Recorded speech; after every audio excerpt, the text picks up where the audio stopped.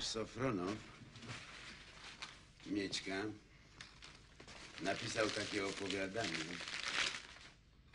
o jednym królu, który przebrał się za włóczęgę i chodził po domach, żebrał.